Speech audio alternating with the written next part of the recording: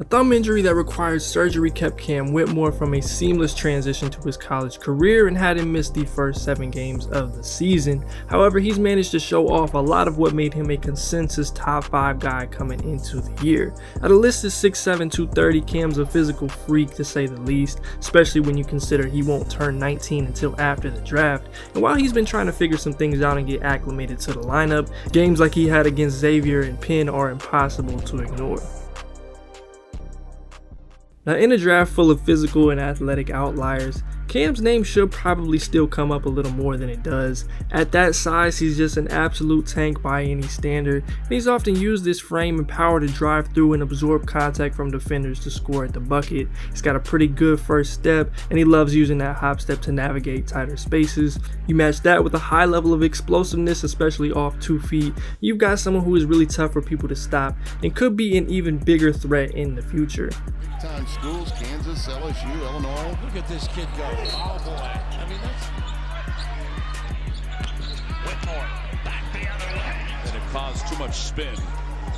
Whitmore explodes. He's also made it happen off of cuts, particularly from the corner, but a few from the slot or just finding the open spaces. And if you watched him at any point prior to Villanova, you knew this ability to rise up and finish was a big part of who he is. He's one of those guys who'll make you get out of your seat or at least give you some type of reaction when you see him take off in the air or towards the bucket. And his traits here give him a really good base to work with in the future.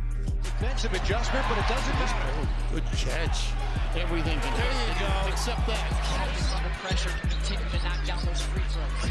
Whitmore. Oh, Giacono. Bounce pass along the baseline. Whitmore. Freeze. He missed it. Oh, Whitmore. While they've been mostly flashes and it's not completely there yet, a lot of the stuff that he's done as a creator on the perimeter is where a lot of the high end appeal comes from with his game. He's loved getting to that step back, especially going left. He's shown impressive footwork and organization on some of those looks, especially coming off of the misdirection between the legs. He's even thrown a hard cross or two in there to create some real separation. There's just a lot of stuff there that you wouldn't ordinarily see from a guy his size or someone that kind of projects primarily to be more of a strength-based type of guy. And he's also doing a lot of it from three-point range. He's currently still under 30% on the season, so that is definitely something to watch for going forward. However, the mechanics look pretty good. He shoots an easy ball, and if I had to bet, I'd say he gets into that 35% range by the end of the season. And hopefully, over the course of this season, he'll get a few more catch and shoot and easier opportunities in the process. It's not really hard to get the picture. You combine this with his athleticism, the explosiveness, and driving potential on the wing, you've got something that should be a really enticing package for teams at the top of the lottery. I've also liked a lot of what he's done defensively. He's a good mover laterally, often cutting off driving lanes and getting in a good contest. Rarely has he been taken advantage of here, and he's matched up with several different types of players. And even when he does naturally allow a step or has a less than perfect closeout, he's managed to recover and stay in plays fairly well. I've also liked how he's defended both sides of the ball screen. I think he can still get better in terms of navigation on ball, but in terms of switching both onto the ball and onto the screener and back quickly without giving up an advantage, that's been highly impressive and a real asset within this Villanova system and obviously long term. While he hasn't been perfect as a team defender, he has offered some standout help side rotations at the rim that have directly helped stop the opponent from getting an easy bucket. And while they haven't resulted in blocks on the stat sheet every time, it's the type of stuff that you want to see just reading the play and not being stuck to his man. And athletically, he's got the gifts that make him dangerous in these type of situations. Being that size and with his strength level, he can also bang inside with more post-oriented players and matched with the ability to move his feet out in space, he's got some real versatility. Right now, I think he fits best matching up with threes and fours and maybe some twos at the next level, but I think I'll be able to come to a stronger conclusion on that as we get further into his season. Look at this. Yeah, looks like last touch. I think he can still tighten some things up, cut out some of these avoidable fouls just being too aggressive, and also some things in terms of help positioning and navigating screens off ball against a guy like Jordan Hawkins, who is one of the best. But other than that, it's hard to watch him and not see somebody who should at the very least be a solid defender at the next level, if not significantly better than that based on what he's shown so far. Now going forward, you kind of just want to see him start to put everything together consistently and really be the guy for Villanova. And with him getting to start the last three games and playing more minutes and seemingly getting a longer leash than what he had earlier, I think we start to see him move in that direction. One of those areas you want to watch is just in some of his overall decision making, the turnovers and a little on the body control. There have been times he's done a little too much off the dribble or just been a little loose with it and has some unforced errors you want to see him clean up.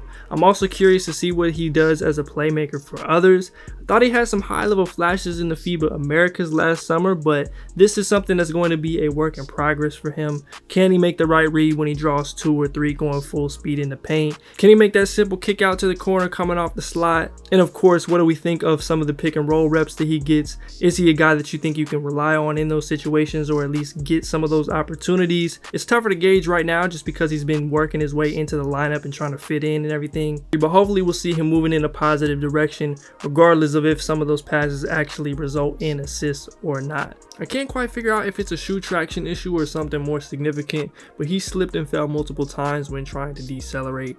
Again, I don't know if it's just a shoe traction issue or if it's like something biomechanical that's causing it, but it's definitely stood out to me when watching all of these games. And those are some of the main things I'm watching for. Of course, you also got to add in there how effective he is as a perimeter scorer and shooter that we talked about. And also, hopefully, he gets to the free throw line a little bit more often, given the usage he has and just given how physically dominant he can be. As far as matchups go, the second one with UConn should be great.